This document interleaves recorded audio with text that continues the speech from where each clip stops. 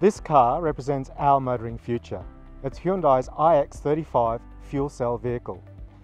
It's powered by hydrogen and it has the touring range and recharge speed that electric vehicles can only dream about. We're driving the iX35 from Venice to Frankfurt. It's about the same distance as from Sydney to Melbourne. Now the reason we can do that is because Europe already has in place a hydrogen refueling infrastructure and it's growing all the time.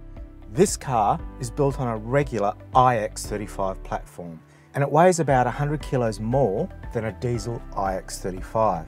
It loses some cargo space over the conventional model, but that's the only packaging concession made for being a zero emissions car. Recharging with hydrogen gas is really easy. It's a lot like refueling with LPG. All you have to do is hook up the nozzle, squeeze the trigger, and a couple of minutes later, you're good to go. Got another 600 Ks in the tank. The iX35 FCEV drives just like an electric car, with its 300 newton meters of torque ready from the get-go.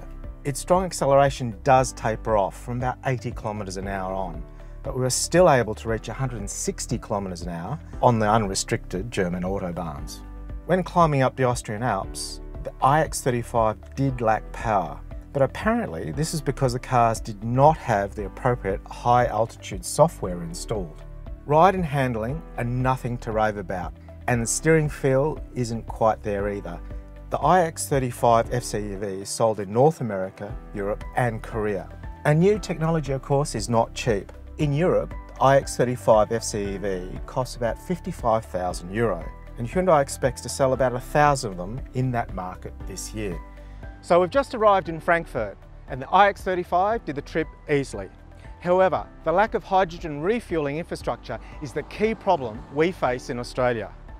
To get cars like this down under, we need the federal government to support this vital technology.